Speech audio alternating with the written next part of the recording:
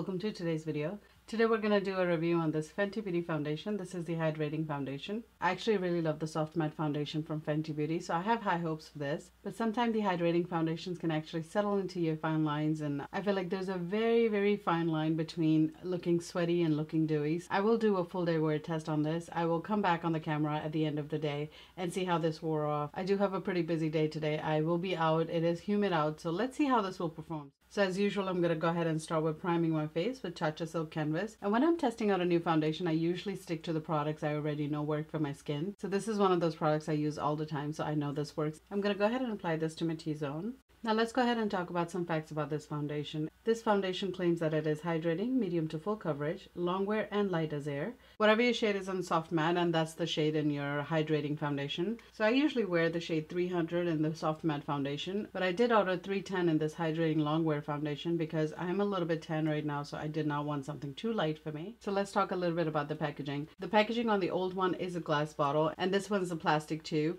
I do like uh, the glass bottle personally, but I feel like this is more convenient when you're traveling because the glass bottles do tend to get a little heavy when you're traveling. Even though it's a tube, it comes with a pump, which is great. I do like pump on my foundation because it just makes life a little bit easier. So I'm going to take about two pumps of this foundation. I am going to apply this foundation using a beauty blender. It does feel hydrating too because it doesn't feel like it's drying my skin. So it feels really, really nice actually on the skin. So here's a before and after. I feel like this did cover quite a bit. And here's what it looks like after two pump of foundation. I am going to build it up just a little bit because I want to see how it builds. Because I still see some imperfections peeking through. So I'm going to go ahead and build it up just a little bit. I'm going to speed through this process so you can see what I'm using. Finish up my makeup and I'll be right back.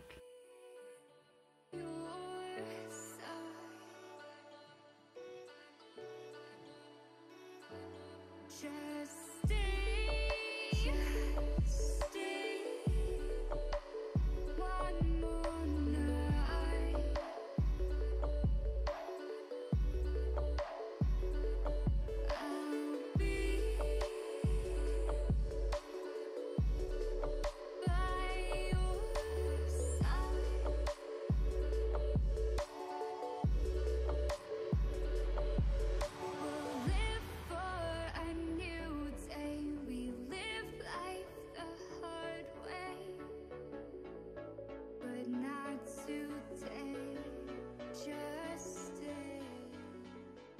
Okay, so I really felt like it needed to be said because wherever I was touching it was kind of coming off. But that's kind of normal for me anyways because I do set my face with the powder.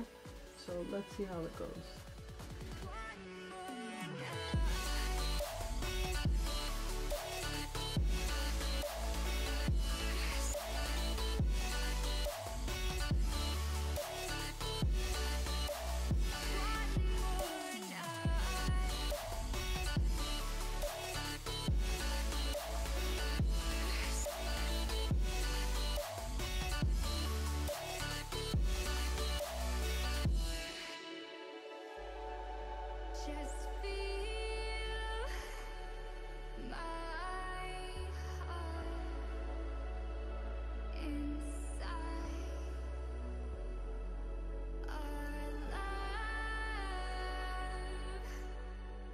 And here's the finished look you guys. So right now it's about 11 o'clock and I will check back in with you guys in a few hours to see how this wears off during the day. So far I think it looks really really good.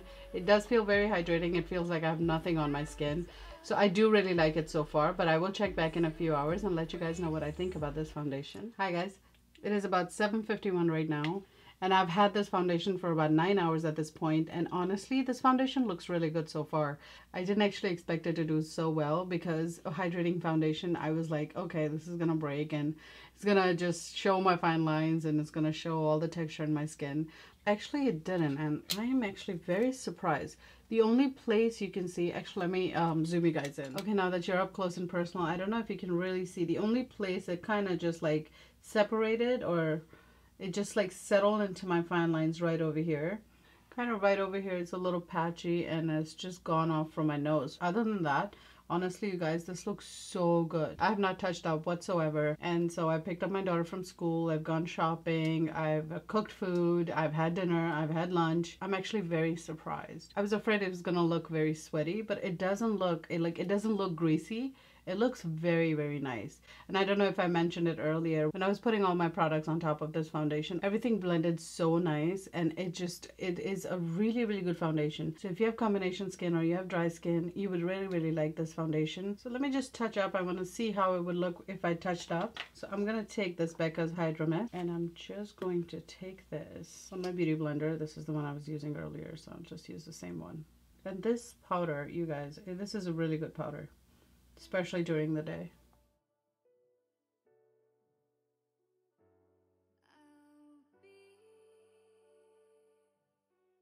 So this is what it looks like once I set this. And honestly, it feels like I just put this foundation on. I actually really, really like this foundation. So I really like this foundation. I hope you guys try it out. Don't forget you can always go into Sephora and ask for a sample before you buy it and try it out and see how it would look on your skin. Before I go, I wanted to tell you guys also that this lip color I have not touched either. This lip color looks pretty good. I mean, it's come off just a little bit like on the top lip. Other than that, I have not touched it even a single bit. So I want to share that with you guys. So I was wearing this dose of color and this is in the shade Kiss of Fire. So if you're looking for a long wear lip color, I think this is really, really nice. And that's all I've got for you today. I hope you enjoyed today's video. Before you go, please don't forget to subscribe to my channel and don't forget to hit that notification bell and leave me a comment and let me know what you think about this video.